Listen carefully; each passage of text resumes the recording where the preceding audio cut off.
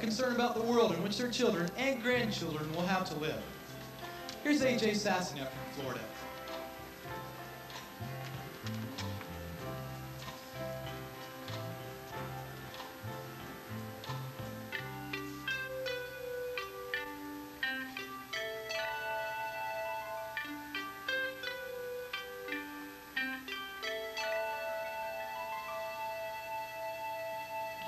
Children back their childhood.